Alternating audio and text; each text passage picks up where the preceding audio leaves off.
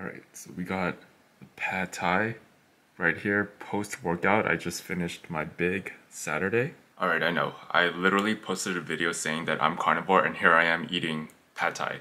But let me explain because there's a logical reason before all you internet trolls get on my ass. If you watched my last video, you would know that I've been off and on carnivore for the last year. So I've largely been experimenting with reintroducing carbs back into my life. I do find myself overwhelmingly preferring to be on carnivore, but carnivore does come with its own set of difficulties. I feel like number one is harder to have a social life. Like it's a lot harder to stay on carnivore. Your only food options would be to eat salad or steak. And I feel like getting a steak every time I go out is not really the most cost efficient approach. And I feel like I don't really eat as much meat as I would prefer. I still feel like I'm hungry afterwards. And usually eating a salad is just way too lean. Like the few times I've eaten a salad, um, it literally feels like I'm eating air. Like I have like no carbs, I have no fats, and like my body just feels like depleted. So number two, being a carnivore Olympic weightlifter, I am thinking ahead towards meet day. I don't feel like it's a very smart idea for me to eat a super heavy carnivore meal in the morning.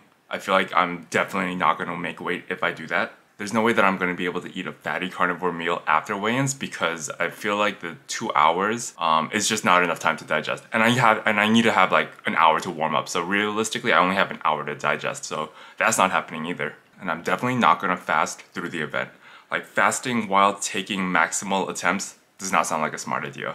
So we're in a bit of a dilemma. And so throughout my like last year of being off and on carnivore, I've researched things like carb cycling and I came across something called carb nite. I don't really know why they call it carb nite because in reality it's like actually a carb day. Essentially what carb nite is is you go keto through the week and on one day you have a carb refeed day.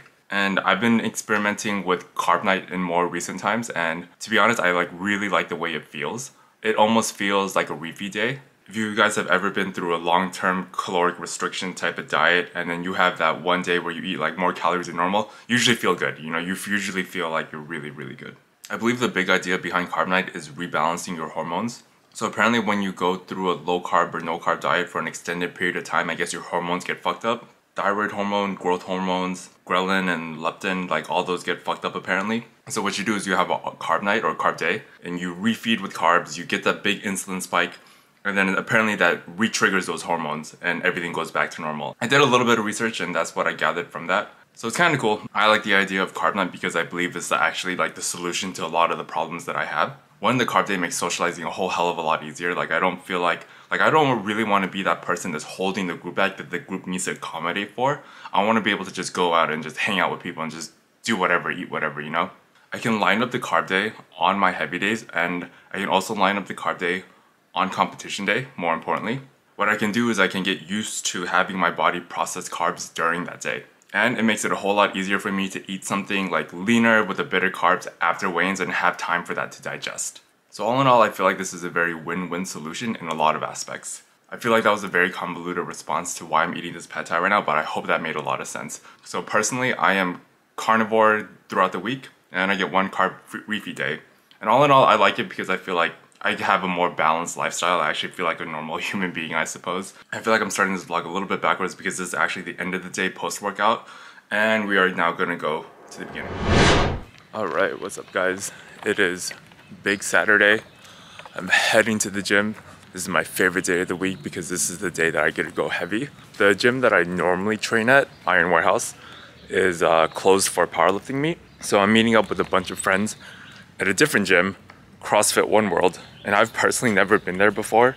I don't know what to expect. They also don't know that I've started vlogging, so I have no idea what their reaction is gonna be like. But yeah, hopefully it'll be a good training session, and I'll see you guys over there. Uh, basically, yeah, I'm just vlogging lifting. Oh, oh. my god, this lighting's bad. All right, this is Harvey. Hey, hey. What's up? Say hello to the internet. Hi, internet. but yeah, we're at Harvey's gym. He works here. I work here as a CrossFit coach. Been uh -huh. here uh-huh. for like 10 years already. Oh, really? 10 yeah. years? Okay. So, like, That's pretty uh, cool. It's my home gym.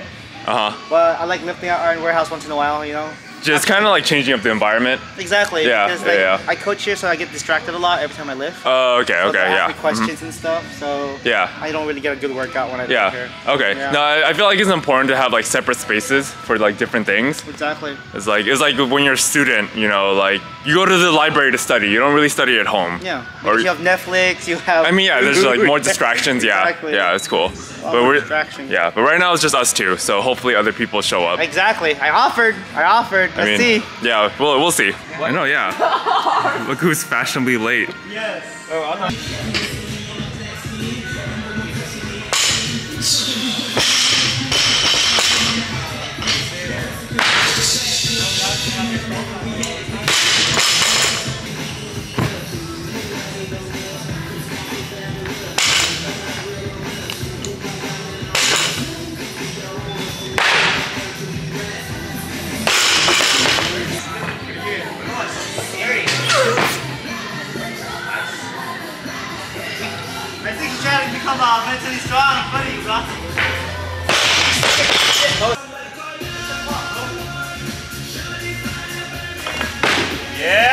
Nice.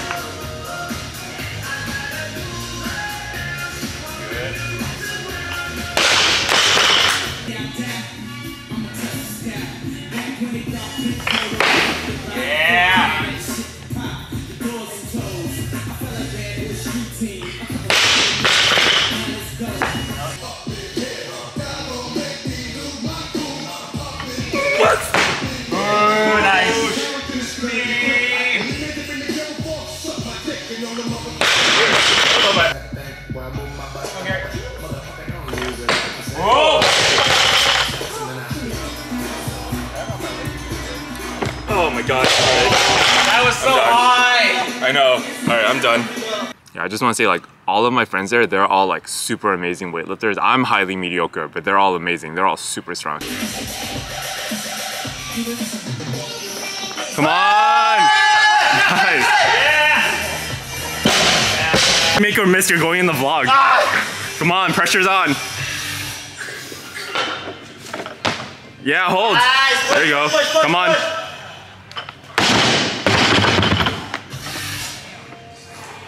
Let's go, same thing, but a little more. Ah! Hold.